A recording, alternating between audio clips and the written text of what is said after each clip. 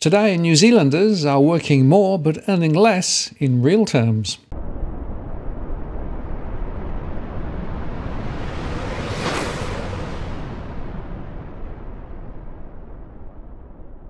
Hello again, it's Martin North from Digital Finance Analytics. Welcome to this post covering finance and problem news with a distinctively Australian flavour. Well, interesting data from Statistics New Zealand today on employment and wages. They show that New Zealand's unemployment unexpectedly rose from a record low in the second quarter, but wages rose at the fastest pace in 14 years, though still well below inflation, suggesting the central bank may need to keep raising interest rates aggressively to tame inflation. The jobless rate climbed to 3.3% from 3.2% in the first quarter, which was the lowest level since records began back in 1986. Economists expected a decline to 3.1%. Employment was unchanged from the previous three months, and the underutilization rate was 9.2% compared to 9.3% in March 2022. Measures of spare labour market capacity have fallen over the year and remained low for several quarters, continue to show a tight labour market, said Stats New Zealand. The unemployment rate for women was 3.5% in the June 2022 quarter, compared with 3.4%, which was revised, by the way, last quarter. The unemployment rate for men stayed at 3.1% and remains equal to the lowest rate on record. Underutilisation and unemployment rates have fallen over the year for Maori, Pacific, and Asian ethnic groups, as well as younger people, they said. The underutilisation rate for Maori was 13.4%, down from 17.5% last year, and the unemployment rate for Maori was 5.5%, down from 7.8% last year. Both of those are unadjusted. The falling unemployment rate for Maori is part of a broader downward trend over the past decade. In the June 2022 quarter, the total seasonally adjusted number of hours usually worked rose 0.5% to reach 107.5 million, despite the number of people employed remaining unchanged over the quarter at 2.82 million. The quarterly increase in usual hours worked came from people working more hours rather than changes in employment levels and the seasonally adjusted number of people working full time, that means 30 hours or more per week, increased by 22,000 over the quarter, and the number in part time employment fell by 20,000.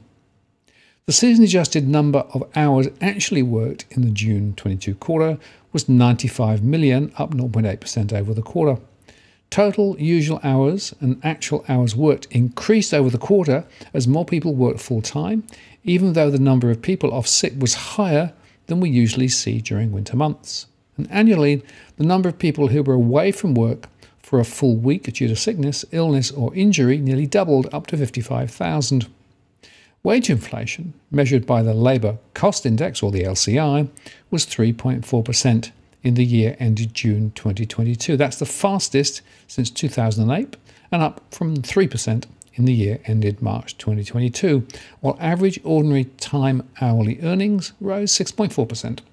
The June quarter had the largest increase in LCI salary and wages rates since late 2008, and over the year, a steadily increasing number of wages have been raised to better match market rates, as well as attracting or retaining staff. Stats New Zealand said nearly two thirds of roles surveyed in the LCI saw an increase in ordinary time wage rates in the year ended June 2022. That's the highest level since this series began back in 1993. The LCI's primary measure of wage inflation adjusts for changes in employment quality. Therefore, employees receiving promotions or moving to different roles don't affect this measure of wage inflation. Average ordinary time hourly earnings rose 6.4% in the year ended June 2022 to reach $36.97. And they said the LCI shows wage increases not seen over the last 10 years. While wages, though, have lifted over the past year, annual consumer price inflation has exceeded annual wage inflation over the same period. The Consumer Price Index, the CPI, increased 7.3% in the year to June 2022. And the annual inflation at 7.3% is a 32 year high. The adjusted LCI measures changes in the cost of labour for businesses. So, this comparison contrasts changes in labour costs with changes in consumer prices. It's not a direct comparison of wages and cost of living. Average total hour earnings, including overtime growth, as measured by their other surveys, was spread across industries. Annually, the industries that had the largest impact on national wages growth were manufacturing up 8.2% to $35.25, healthcare and social assistance up 6.7% to 38.48, and professional, scientific and technical services and administrative and support services up 5.5% to $42.27. These industries are all relatively large, as well as having strong wage increases, causing larger impacts on national changes than smaller industries with bigger annual increases. Those industry groups were also significant contributors to national LCI wage inflation. Annually, private sector wage inflation was 3.4%, while public sector wage inflation was 3%. And private sector wages also grew more strongly in their other surveys, with private sector total hourly earnings up 7.1% to $35.24, while public sector earnings rose 4.6% to $44.19. Labour shortages and capacity constraints are contributing to soaring inflation in New Zealand, prompting the Reserve Bank to rapidly remove monetary stimulus. The RBNZ is tipped to undertake a fourth consecutive half percentage rate hike later this month, taking the official cash rate to 3% as it seeks to curb demand in the economy. The Kiwi dollar fell after the employment report and earlier on today was at 62.34 US cents. That's down from 62.55 cents beforehand. While the Reserve Bank doesn't have a numerical goal for employment growth or the jobless rate, it has said employment is above the maximum sustainable level that it's required to achieve. At 7.3% in the second quarter, inflation is also well in excess of the 1 to 3% band the central bank targets.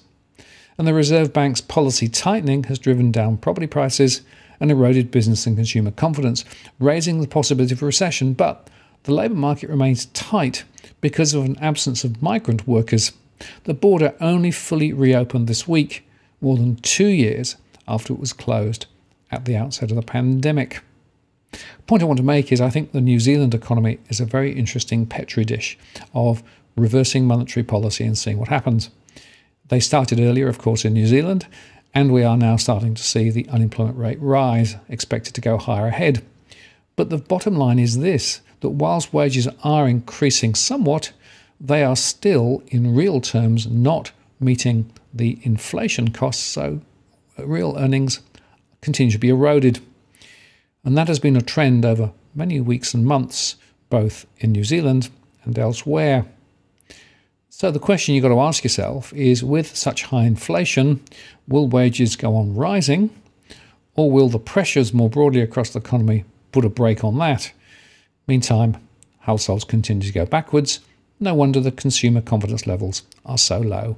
Now, if you're buying your home in Sydney's contentious market, you don't need to stand alone.